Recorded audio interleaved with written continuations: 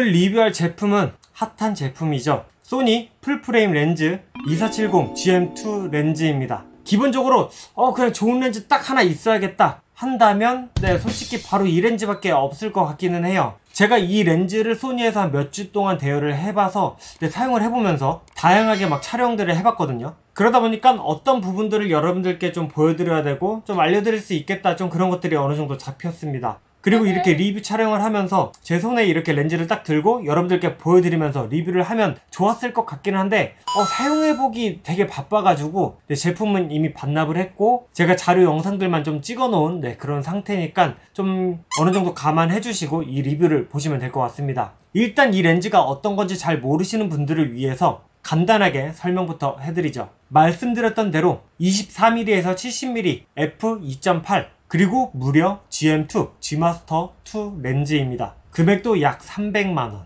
조리개 링을 포함해서 총 3개의 조절링이 있다 보니까 사진뿐만 아니라 영상 촬영에도 최적화가 되어 있는 그런 렌즈입니다. 무게는 이전 모델보다 18%인 약 191g 정도 감소해서 GM2 렌즈는 695g입니다. 휴대용이 강조되어 있는 카메라 제품군에서 191g이면 진짜 많이 감소가 된 거거든요. 거기에다가 크기 또한 작아졌습니다. 77.9mm 그리고 119.9mm 그 다음 개인적으로 좀 마음에 들었던 부분 최소 초점거리가 정말 짧아졌습니다. 어마어마해요. 23mm로 촬영을 했을 때 21cm부터 포커스가 잡히고 70mm까지 줌을 이제 땡긴다라고 하게 되면 30cm부터 포커스가 잡히게 됩니다. 정말 이 초점거리가 되게 짧죠. 그리고 저는 뭐 솔직히 무슨 말인지 잘 모르겠는데 소니 독자 기술인 XD 리니어 모터 4개와 floating 포커스 메커니즘이 탑재가 되어서 좀 더 안정적이고 빠른 AF 네, 그런 성능들을 자랑한다고 합니다. 그럼 주밍 시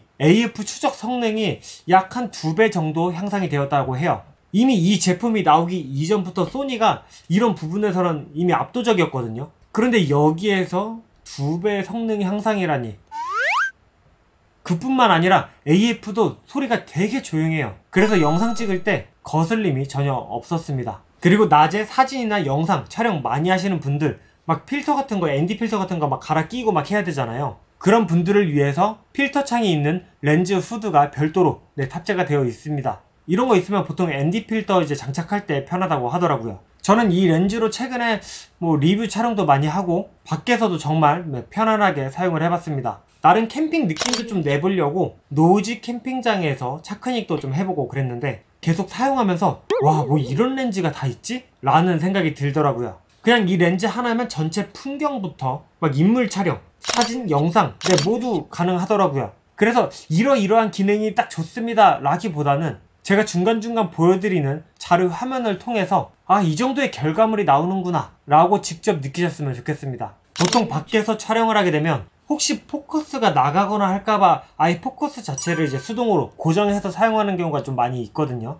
그런데 체감상 그런지는 모르겠는데 이 렌즈를 사용을 하면서 AF 쪽 네, 그쪽은 아예 신경도 안 쓰고 되게 편안하게 사용을 했었던 것 같습니다 그러니까 네, LCD 그 터치를 통해서 포커스 고정 네, 이런 것들을 아예 뭐 사용할 필요가 없었어요. 그냥 사람이나 막 동물이나 이 LCD 안으로 이제 렌즈 안으로 포커스에 딱 들어오게 되면 그냥 냅다 다 잡아버리더라고요. 이게 어, 어떤 분들에겐 좀 불편할 수도 있을 것 같기는 한데 저한테는 신경 쓸 요소가 하나 줄어든 느낌? 네, 그렇게 말씀드릴 수 있겠습니다. 그리고 휴대성. 휴대성에서도 좀 중요한 게 무게잖아요. 이 렌즈 가볍기도 하고 거기에다가 크기까지 작아요. 거기에다가 좀 체감되는 건 오히려 크기였어요. 그래서 밖에 이제 가지고 다닐 때 보관도 좀 어느 정도 용이하기도 했고 정말 가벼운 마음으로 촬영을 좀 임했다라고 해야 될까요?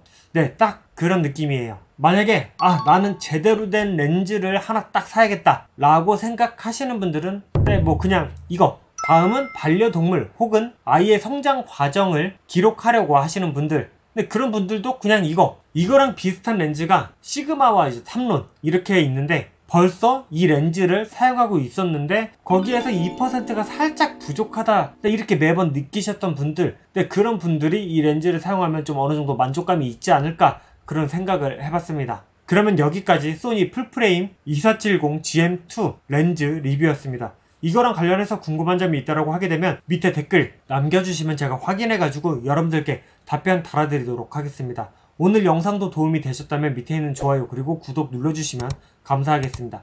다음 영상에서 좀 더 유용한 정보 그리고 재미있는 리뷰로 찾아오도록 하겠습니다. 다음 영상에서 뵙도록 하겠습니다. 감사합니다.